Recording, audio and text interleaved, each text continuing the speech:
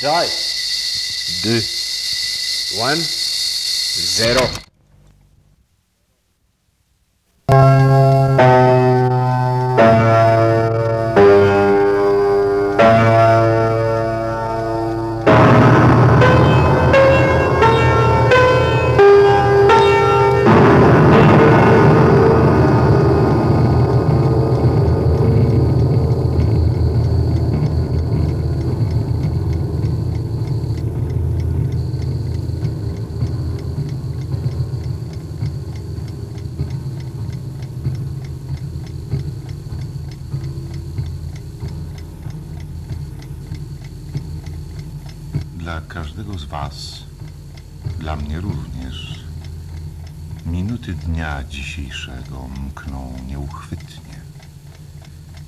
Wiecznie ich mało, a przecież jesteśmy tutaj i mówić będziemy o tych naszych godzinach, minutach, wówczas bezlitosnych, gdy zawiedzie rozsądek. Ostatnia twarz Marsa, półślepy wróg na plakacie, utrwalił wspomnienia rozpaczą zabliźnione w pamięci wielu spośród nas. Dla innych ludzi, dla młodych, grożąca twarz wojny przenika wyobraźnię z nieswoich doznań. Każdy myślący człowiek wie, czym jest wojna, czym jest pokój. A jednak między nami w nas samych czas lekarz stopniowo i podstępnie tworzy bezwładną masę współczesnych ludzi, którzy biernie zgodzili się na groźbę zagłady. Współczesne społeczeństwo wyczekując boi się wojny, tysiące ludzi. Paradoks małej stabilizacji. Przypomnijmy im, gdziekolwiek się znajdują, zagraża niebezpieczeństwo. Nasze własne minuty i godziny oderwane są od czasu, od wczoraj, od jutra i od plakatu walka o pokój. Przedstawiam Państwu tak, jak Was widziałem, tak samo, gdy między innymi mówiliśmy o wojnie, o znaczeniu każdego z Was dla pokoju. O wojnie, o znaczeniu każdego z nas dla pokoju. Wasze słowa zapisałem. Nazwiska zostaną dla mnie i dla Was przyjaciele. Starszy kelner A, mój dobry znajomy, bardzo rozmowny. Powiedziałem coś o pokoju. On jest tylko wąskim specjalistą. Tak, to właśnie pan, pani B. W kawiarni Savoy, jak pewien afrykański ptak, uciekł pan po prostu od groźby wojny. A przyjaciel pana został sam. Droga pani C, zaczynam cię nudzić. Przecież masz innego kompana z przyjemniejszymi tematami, a na dodatek w ogrodzie chłodno.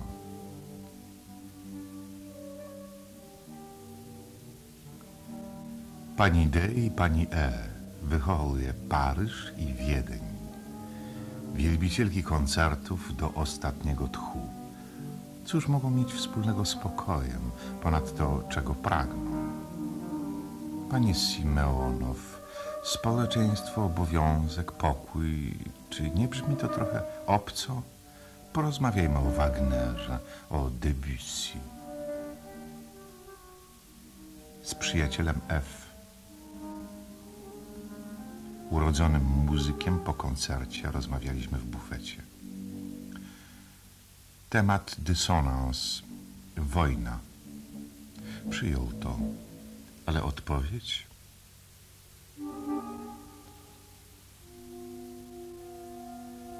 Miss G i Monsieur H. Spotkałem ich przed turystycznym hotelem. Dobrzy znajomi z podróży. Pokój, wojna? Zaczęliśmy mimo woli. Oni na to.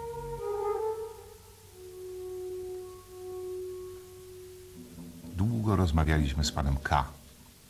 Wreszcie obojętnie powiedział: Ja nie chcę wojny, ale pokój to przecież fikcja. Pan K. intelektualista, udziałowiec spółki akcyjnej.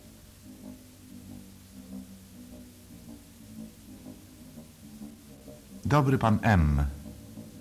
We śnie stany lękowe, śni mu się grzyb atomowy podejrzana własna renta. Każdemu odpowiada nie wiem, albo ja na to nic nie poradzę. Były policjant, a taki głupi.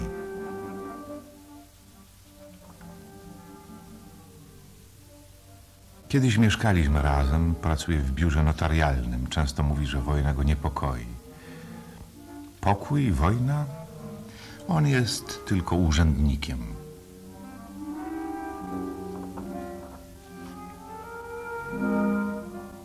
Jego kolega R, archiwariusz w ministerstwie, nieszczęśliwy w małżeństwie. Z przeproszeniem, odpowiedź na wszystko.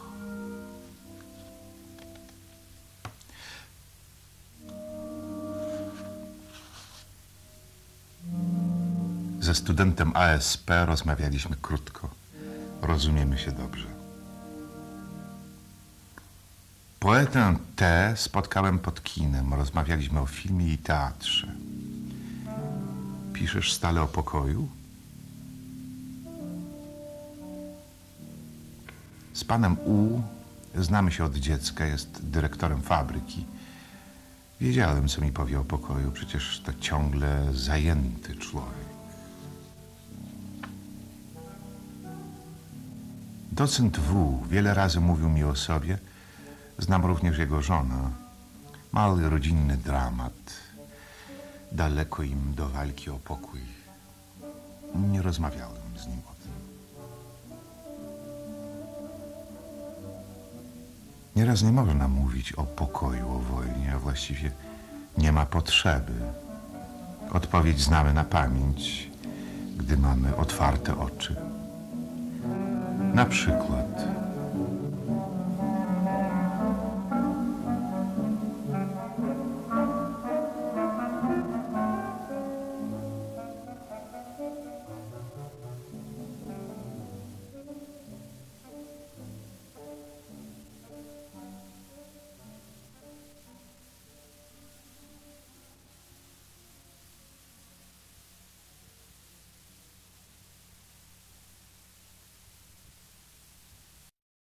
Honor?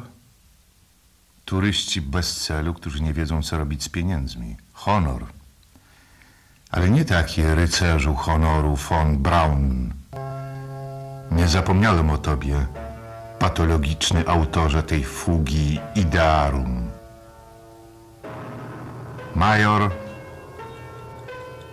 Braun. Dobry pianista i świetny strzelec z pistoletu. Major monotyp jednej ideologii.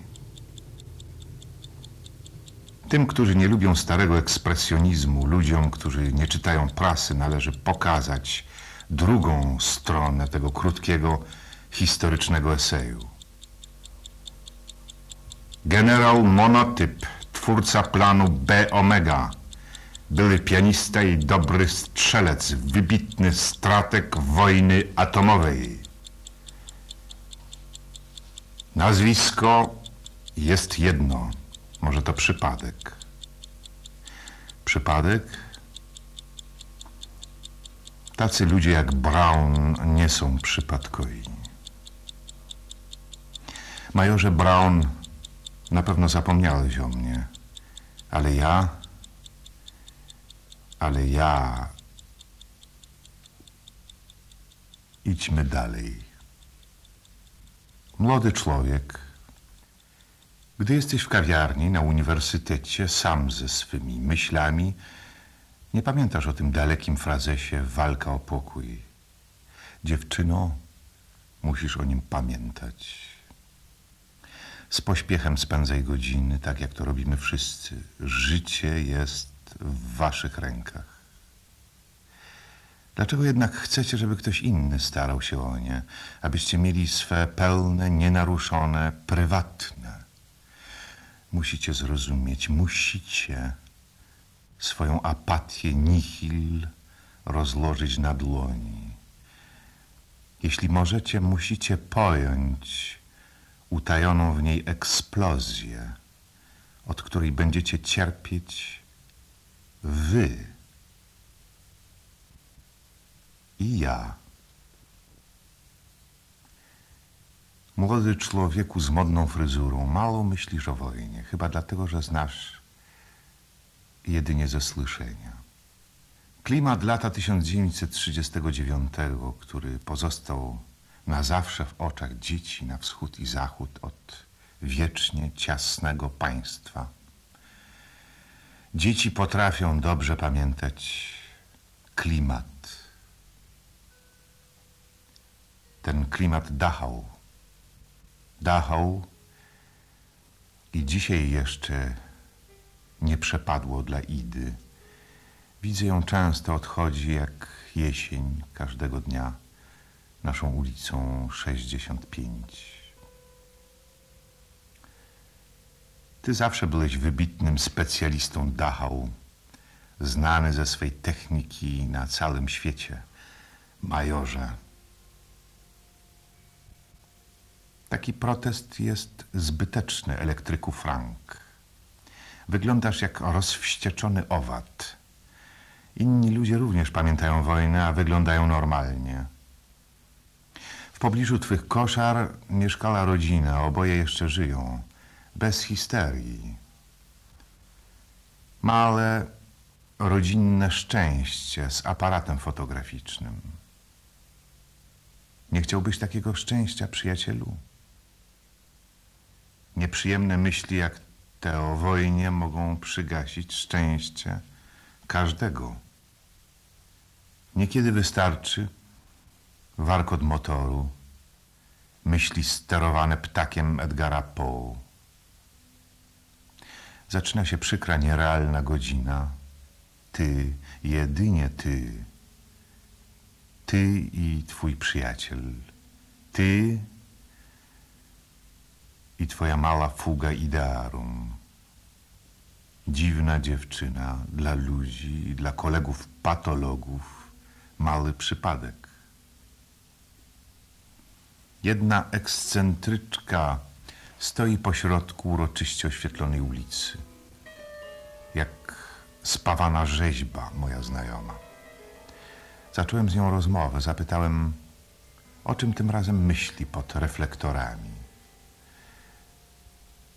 Prosiła o papier i napisała: Dobry człowiek X plus reflektor, asocjacja równa się x jednokreślne mniejsze od x. Czy Państwo zrozumieli? Dziwne asocjacje. Z cichego akwarium. Małe ryby są nieme, jak zawsze, tylko światło, autor myśli, docierające do salamin, natychmiast zlewają się z Maltą i łodziami podwodnymi atomowymi.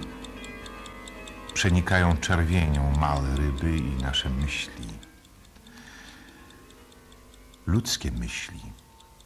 Lotne ludzkie myśli.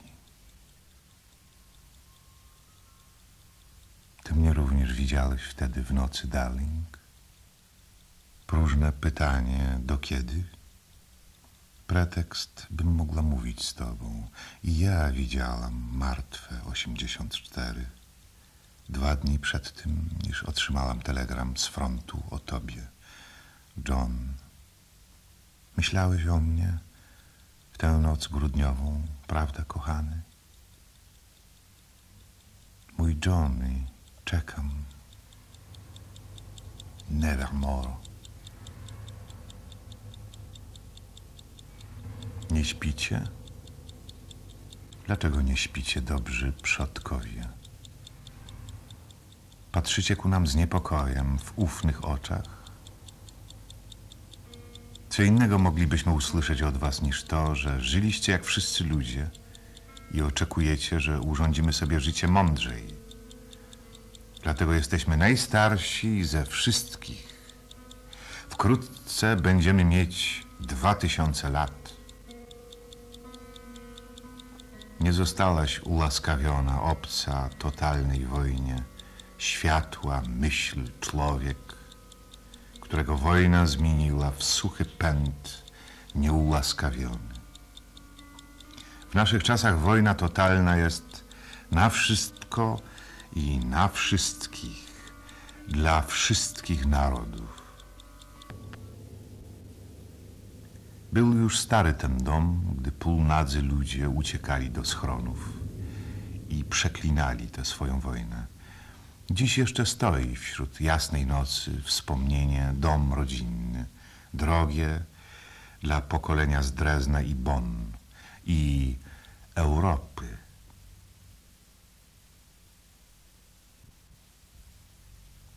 Nagasaki jest już daleko. Prawie dwadzieścia świetlnych lat. Tylko Pacyfik jest tu jego filantropia. Nagasaki nie kocha ludzi. Dla niej pozostało tylko własne niebo. Keiko Nagasaki jest już starą kobietą, narkomanką. Przed portretem swego nieposłusznego syna kobieta opowiadała mi banalną historię pewnej matki i jej samotności. Zapamiętałem syna, bohater z powieści Zoli i oczy matki. Wyobraziłem sobie jednocześnie kawałek komiśniaku, kawałek życia, który ona ma przed sobą, przed portretem swego syna. Ten chuligan patrzy tempo. Wydało mi się, że widzę w tym małpim spojrzeniu jakiś smutek. Rozmawiałem z nim, uwierzyłem mu. Sierota z wojny i ze wszystkich wieczorów, które zapamiętał, jest wiosna. Czarny most tający śniegiem, lokomotywy i dym dziś też nie jest różowy. Ale czarny most stającym śniegiem oddycha wiosną ze swą marcową, wilgotną perspektywą mostu w pokoju. W pokoju młoda noc, studentka z północnej Afryki, niespokojna, dziewczyna Algier. Oboje niespokojni. Niespokojna noc, szukająca swego dnia. Funebrum. Wieczór wypływa, rozbrzmiewa ruda architektonika. Funebrum. Architektonika, septet smutkiem natchnionych smyczków. Rozbrzmiewa tylko dla was. Ładunek funebrum, który niesiemy stroi do święcimia stał się na chwilę dźwiękiem i światłem tylko dla nas, ludzi o jednakowych megahercach i różnych twarzach.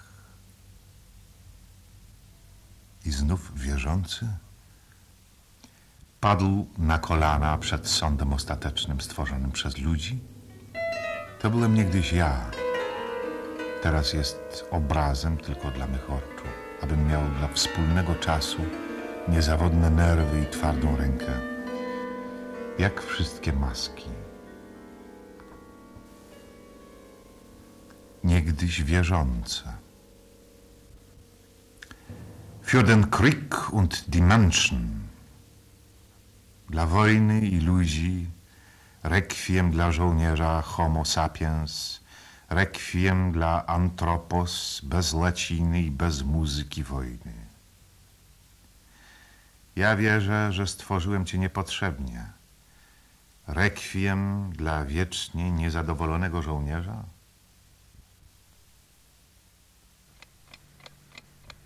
Ależ z ciebie dziecko, Peter. To tylko sztuka. Jeden stary dramat, którego uparcie nie rozumiesz. Peter, moje naiwne, mądre dziecko. Den Phrasen und Ausstellungen gegen den Krieg Schluss!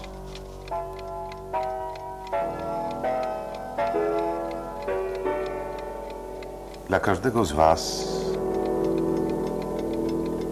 i dla mnie również lata życia, które nam zostają, mimo wszystko są bardzo drogie. Dlatego byliśmy tu, aby wymienić myśli tak jak umiemy o naszych latach, godzinach, które staną się niemiłosierne dla wszystkich, jeśli nie będziemy ich trzymać w rękach mocniej niż kiedykolwiek.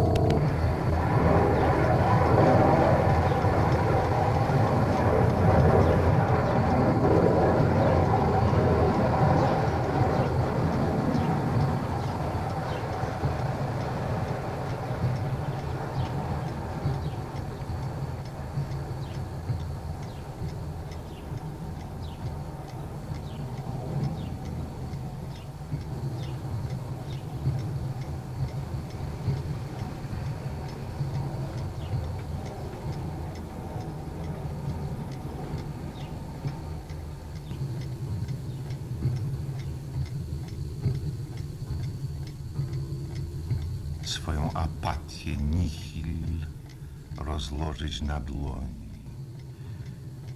Jeśli możecie, musicie pojąć utajoną w niej eksplozję.